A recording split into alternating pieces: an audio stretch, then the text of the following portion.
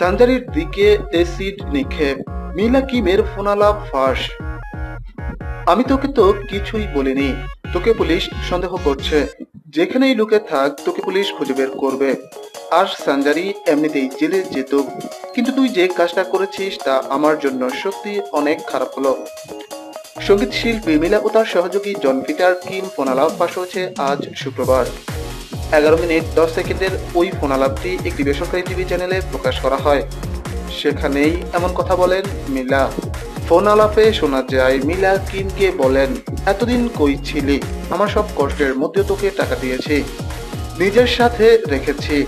আমার কাছ থেকে হঠাৎ করে চলে গিয়ে সাঞ্জারির বাসায় কি করলি? আমি কি সাঞ্জারির বাসায় যেতে বলেছি?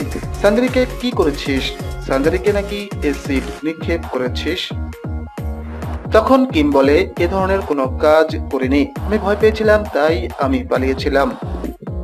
গত দুই জুন সন্ধ্যার দিকে মোটরসাইকেলে যাওয়ার সময় হামলার শিকার হন সাঞ্জারি গত দুই থেকে নয় জুন ঢাকা মেডিকেল কলেজ হাসপাতালের বার্ন ইউনিটে ছয়শো দু নম্বর কেবিনে চিকিৎসাধীন ছিলেন তিনি।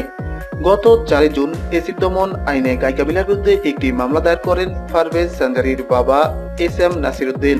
উত্তরা পশ্চিম থানায় মামলাটির নম্বর পাঁচ দায়ের করা হয়। ওই মামলার এজাহারে মিলা ও তার সহকারী পিটার কিমকে অভিযুক্ত করা হয়। এর আগে গত একুশে এপ্রিল আদালতে মিলার বিরুদ্ধে ডিজিটাল নিরাপত্তা আইনে একটি মামলা দায়ের করেন পারভেজ সানজারি।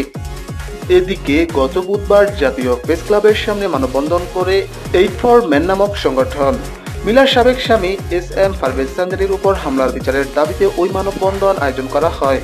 মানববন্ধনে সংগীত শিল্পী মিলা ও তার সহকারী জন পিটার কিমের গ্রেপ্তার দাবি করেন ভক্তরা। সাঞ্জারির ভাই আইনজীবী আলামিন খানের অভিযোগ সাঞ্জারির গোপনাঙ্গ লক্ষ্য করে এসিড নিক্ষেপ করা হয়। তাকে বিকলঙ্গ করার জন্যই ওইভাবে এসিড ছোড়া হয় বলে দাবি করেন তিনি। প্রিয় দর্শক, নিত্য নতুন সকল খবর আপডেট পেতে এখনই লেটেস্ট বাংলা নিউজ চ্যানেলটিকে সাবস্ক্রাইব করুন। বেল আইকনে ক্লিক করে আমাদের সকল আপডেটের সঙ্গেই থাকুন।